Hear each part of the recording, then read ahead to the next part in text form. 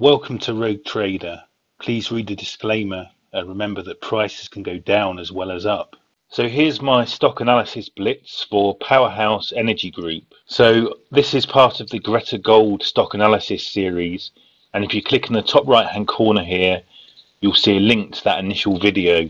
That video created a short list of stocks, which I'm doing a quick blitz analysis on to select a couple of good ones for final, more deeper analysis. Now, Powerhouse Energy Group are commercializing these distributed modular generation plants. It was hard to really work out what these were, but essentially, they generate hydrogen and electricity from waste plastic and used car tyres. They've actually got a first commercial module that they're building for the Peels Protos Energy Park in Cheshire, and there's another 10 ring fenced for development. They get half a million kickback per park, and in terms of news flow, they've just bought out this uh, company, Waste2Tricity Limited, and then they just raised 50 million you can see also that their share price, after being flat for a long time, last year it ramped up considerably.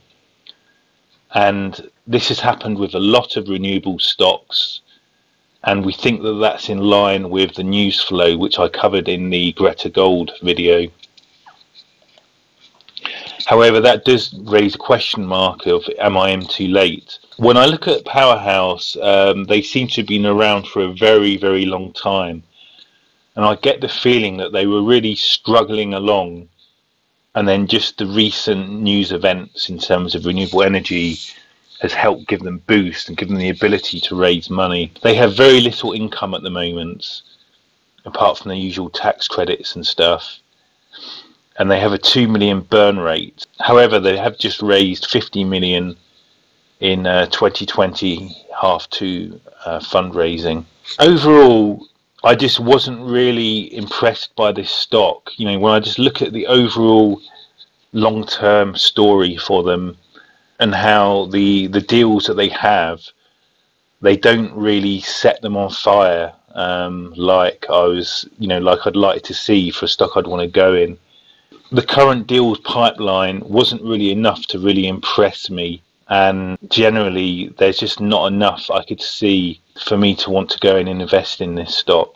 So I'm not going to put these in my final shortlist.